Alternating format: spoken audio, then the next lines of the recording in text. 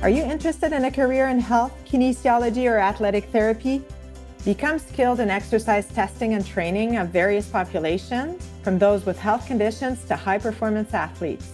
I currently do research looking at how dance can be beneficial for individuals who have developmental disability in terms of things like their postural stability. In my first year, I learned a lot of our base anatomy and physiology, as well we had intros into the specialization programs, so that's the clinical exercise physiology, and as well athletic therapy. And then in future years, you specialize into more physiology and you can branch off into different areas that you're interested in, like pharmacology, pain management, or physical activity and epidemiology. We learn a lot more about assessment and rehabilitation of musculoskeletal injuries. Anything that's bone, muscle, joints, and even concussions. Our undergraduate programs offer extensive hands-on experience.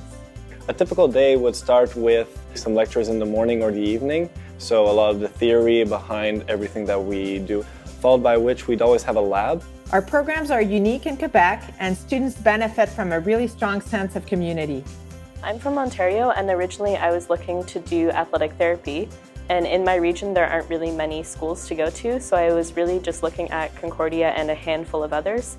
And when I visited the other campuses I felt a lot more comfortable at Concordia and found that the campus was really vibrant and energetic so that's what made me choose this program.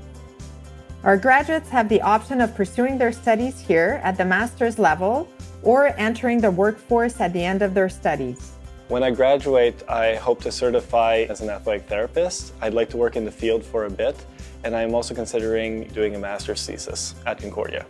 Many of our graduates go on to rewarding careers. You could work with sports teams in injury prevention and rehabilitation, or with communities and healthcare teams to promote physical activity. Interested? Get in touch with us and find out more.